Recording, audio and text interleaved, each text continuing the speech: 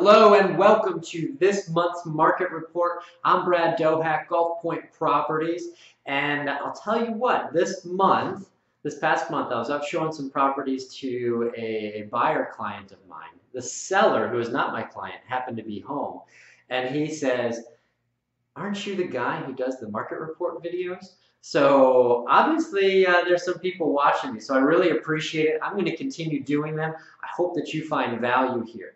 So here's some new and exciting things to report from the market perspective. Now what I want to do, this month I broke down Lee and Collier County here on the whiteboard for us. And there's a few disparities here. I want to go over those quickly. So you can see here we've got a green 6% increase. What is that? That's our closed sales. So we've had 6% more transactions that happened in January 2017 over January 2016. Good news. In Collier County, we have also seen an increase, but this is 0.3% increase in closed sales. So much, you know, I, I, would call that pretty steady, pretty even. Not a huge gain. It's, uh, you know, about even with last year. Now is where we get into the disparity. So this number here is the median sales price. So in Lee County, the median sales price has risen year over year by 7.9% which is quite good. That's up to 245,000 as the median sales price. Now, come over to Collier County, and it's down 2.2% year over year. So our count, this is all encompassing Southwest Florida. We have one county that's up nearly 8%, one county that's down 2.2%. What's going on? Well, let's look at a couple of things here. So number one, our median sales price in Collier County is down, but it's still $432,000 compared to the 245 that's in Lee County. Naples, more of a luxury market, higher price point, it tends to, you know, less less sales are happening in the, the luxury home market right now compared to the overall home market. Now, this is a very telling number which will also help explain why we have the differences. So here, our inventory is up 18.4%. It's in red because inventory increasing is not necessarily a good thing in the overall market if we get out of whack. So right now, this increasing by 18.4% year over year brings us to about six months worth of inventory, which is healthy.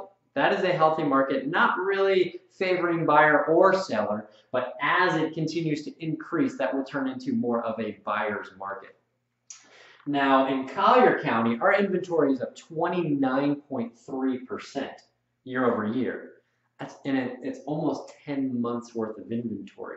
So majorly favoring a buyer's market in Naples because as the inventory increases, what happens? You have more and more competition out there. So the more competition, the more likely a buyer is going to say, I have other alternatives and I can bid lower on your property. So much more of a turned into a buyer's market here in Collier County. Lee, we're seeing that we're, we're very uh, much what I would consider equilibrium, but uh, you know we'll see where inventory levels go and it may shift one way or another. What I can tell you with interest rates, we've been hearing that they're going to increase this year.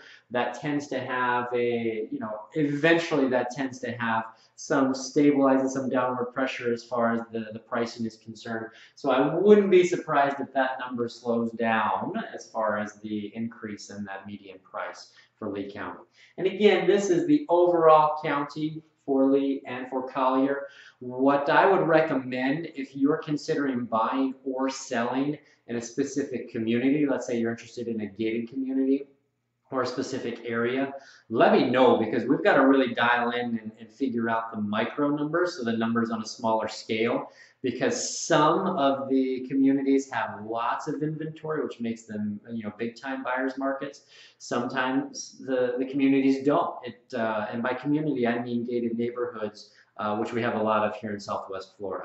So as always, really appreciate uh, your time. Hope you found this valuable. Let me know if you I can dissect this any further for you. If you have any questions, that's what I'm here for, here to help. Thanks.